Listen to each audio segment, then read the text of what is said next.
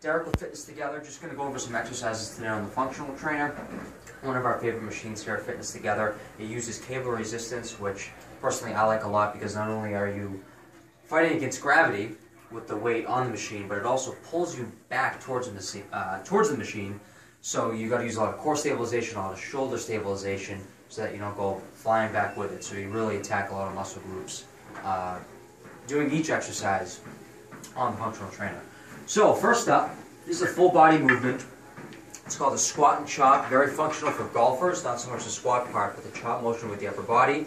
Uh, it simulates a golf swing, and you can do it on either side, so whether it's for lefties or righties, it's a great functional movement.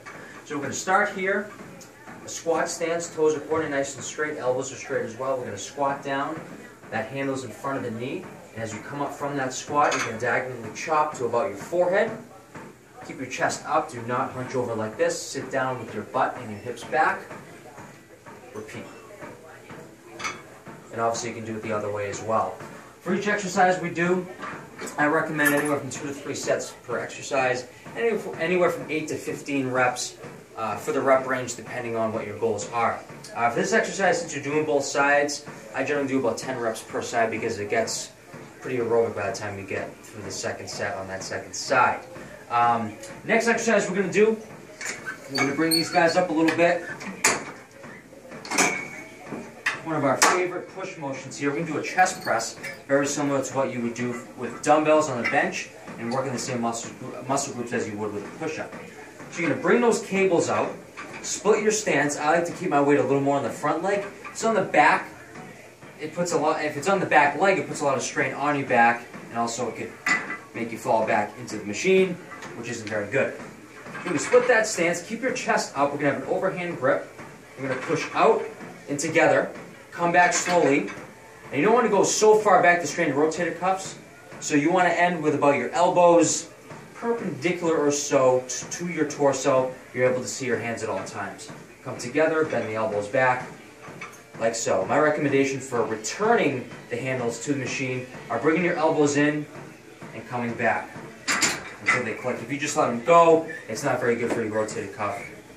And we never want you to get injured. Third exercise we're going to do, another full body movement. This one is called the squat and row. So we just did a push movement. This is more of a pull movement. We also get the lower body involved as well. Keep your chest up. We have a squat stance. Your toes pointed nice and straight.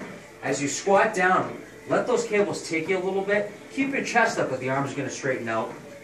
As you come back up from that squat, keep your elbows tucked in and pull back.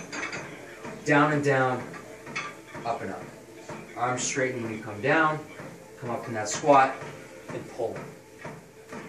Exercise like that, since it's a very smooth rhythm, I like to go upwards of 15 reps.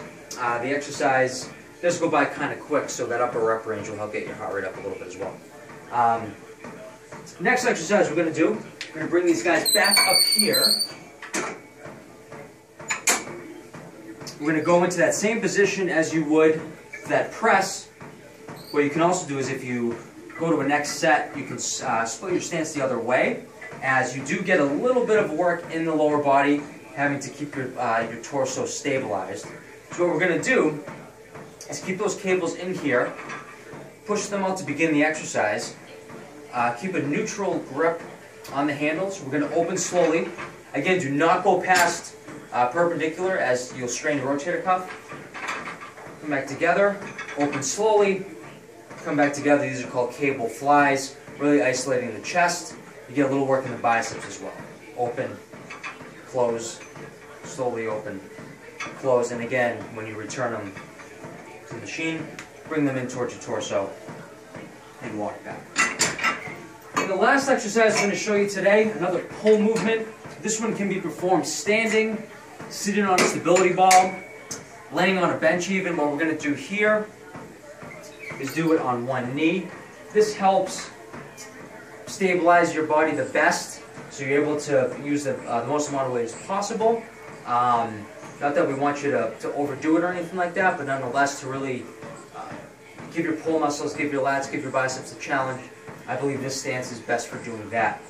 You're going to split it on the back knee at 90 degrees and on the front knee at 90 degrees. Keep your chest up. If you keep your chest up, you get a nice stretch in your back hip flexor, okay? Chest is up. We're gonna pull these guys right in, neutral grip towards the torso, repeat. Couple different ways we can do the pull down here. That was with the neutral grip. You can do an overhand grip. What this is gonna do is work your upper back more, your rhomboids, your middle traps. We're gonna pull down with the elbows out. Back up and down with the elbows out. This is great for posture. So for example, those who sit a lot during the day at their desk, you got a little bit of that hunchback thing going on, overhand pull down can really help uh, bring those shoulders back and help your posture. So that's a handful of exercises we do a lot here at Fitness Together on these functional trainers. Uh, enjoy using them. You can find those uh, obviously at NEFT in any gym. And uh, keep up the good work. Thanks.